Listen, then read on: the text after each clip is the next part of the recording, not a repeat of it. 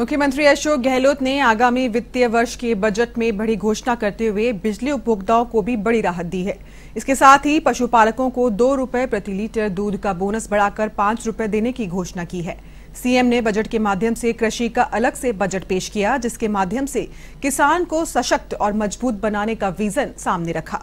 इन सभी तमाम मुद्दों पर राजस्व मंत्री रामलाल जाट से खास बातचीत की, एवं टीवी संवाददाता दिनेश कसाना ने।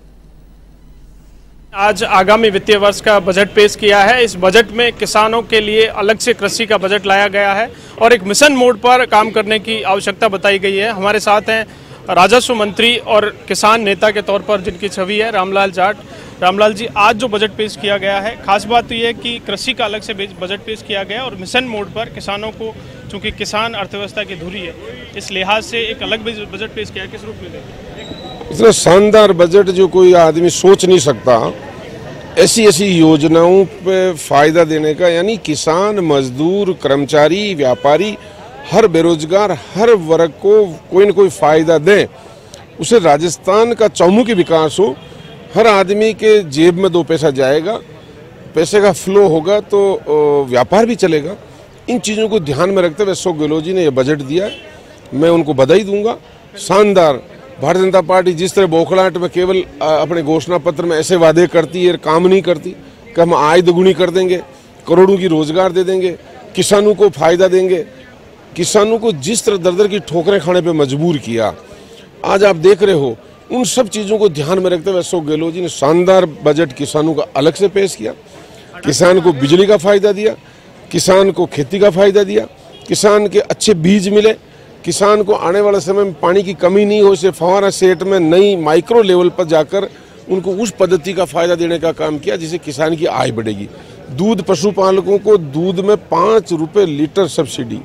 कोई कहता है कि पैसा, सीधा पैसा एक अप्रैल से उनके खाते में जाएगा। तो इतना बड़ा काम अशोक गहलोत जी ने किया। मैं उनको धन्यवाद दूँगा, बधाई दूँगा। और भारतीय जनता पार्टी तो बोखलाहट में ये चीज़ें कहती है कि शानदार बजट आया। पिछला बजट देख लो। ये कोई चुनावी बजट नहीं था। अभी भी कोई चुनाव नहीं है। लेकिन एक्चुअल में किसान का दर्द, एक्चुअल में मजदूर का दर्द, एक्चुअल में कर्मचारी का दर्द, एक्चुअल में व्यापारी का दर्द, एक्चुअल में बेरोजगार लड़कों का दर्द। अशोक गहलोत जी ने समझा और उन सब चीज़ों को इस बजट में समावेश करते हुए उनको फ़ायदा देने का काम किया है। बहुत सारी घोषणाएँ की गई हैं और साथ ही केजरीवाल जो मॉडल है उसको भी अडॉप्ट सरकार ने किया है कि किस तरह से बिजली के जो एक बड़ी समस्या है लोगों को बिजली के बिलों को लेकर। तो ये घोषणा की गई है कि 100 यूनिट तक 50 यूनिट का फ्री करेंगे और 150 यूनिट तक तीन रुपये अनुदान देंगे 200 यूनिट तक दो रुपये अनुदान देंगे। देखो केजरीवाल का ये कोई मॉडल नहीं है सो गलत मॉडल है। मैं मैं पहले मिनिस्टर था जब मेरी नोट सीट है सी के मैथ्यू साहब फाइनेंस सेक्रेटरी थे तब हमने ये प्रपोजल मैंने खुद ने भी लिख कर दिया था। उस समय आर्थिक संसाधन इतने नहीं थे, जो पूरे नहीं कर पाए। उसके बाद में कई ऐसे जो मिनरल हैं, उनको ऑक्शन की पद्धति अशोक गहलोत जी लेकर आए उस समय। उससे रेवेन्यू बढ़ी है। कई ऐसी योजनाएँ अशोक गहलोत ने पारदर्शिता से की है उससे राजस्थान की रेवेन्यू बढ़ी है। अभी उन्होंने इस चीज़ को मूर्त रूप दिया है। ये मॉडल केवल अशोक गहलोत जी का, राजस्थान का मॉडल है। यहाँ के तमाम जो वो आपके मीडिया के साथी जो फ़ील्ड से लेके आते हैं चीज़ें, चाहे प्रिंट मीडिया हो, चाहे सोशल मीडिया में चीज़ आती, चाहे इलेक्ट्रॉनिक मीडिया में आती, ऐसे ही हमारे विधायक हैं। उन्होंने जो फीडबैक दिया, ऐसे ही हमारा संगठन है कांग्रेस का। हमारे प्रदेश अध्यक्ष जी, उनके नेतृत्व में मीटिंग बुलाई, उनमें कार्यकर्ताओं का जो फीडबैक लिया उन तमाम फीडबैक को लेकर अशोक गहलोत जी ने मॉडल अपनाया।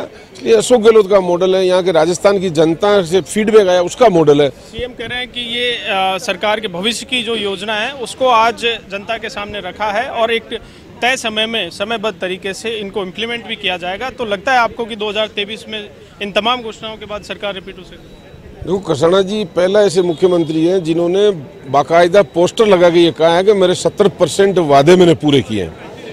कोई मुख्यमंत्री जी, कोई प्रधानमंत्री जी अगर उनके जन घोषणा पत्र के पोस्टर लगा के ये कह दे कि मैंने सत्तर परसेंट वादे पूरे किए, तीन साल हुए, उन्होंने पोस्टर लगाए, बाकायदा बजट की समीक्षा की, एक नीतिगत दस्तावेज़ जन घोषणा को लागू किया, चीफ सेक्रेटरी को देकर उसको ऑफिशियल गवर्नमेंट डॉक्यूमेंट बनाया और उसके आधार पर जो लागू हुआ।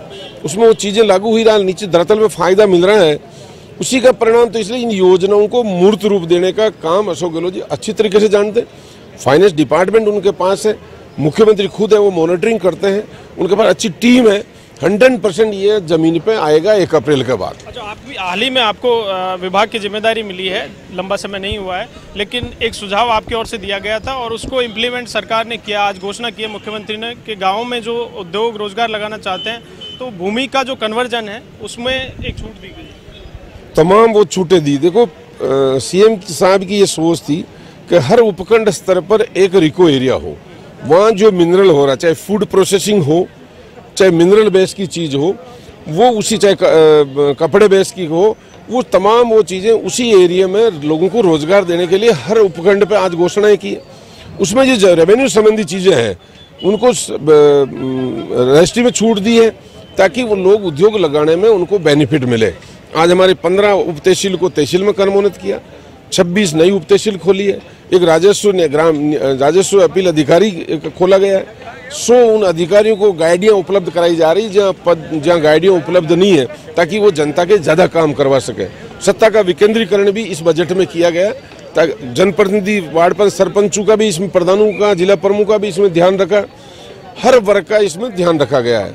हर वर्ग के सुझाव लिए गए और सुझावों के माध्यम से एक बेहतर बजट देने का प्रयास किया है और इन तमाम घोषणाओं को जल्द धरातल पर उतारा जाएगा और 2023 में सरकार रिपीट होने के लिए तमाम जो वादे कांग्रेस संगठन की ओर से किए गए थे, उनको सरकार पूरा करने का प्रयास कर रही है। वीडियो जर्नलिस्ट रामकिशन सैनी के साथ Dinesh Kasana A one TV, Jaipur.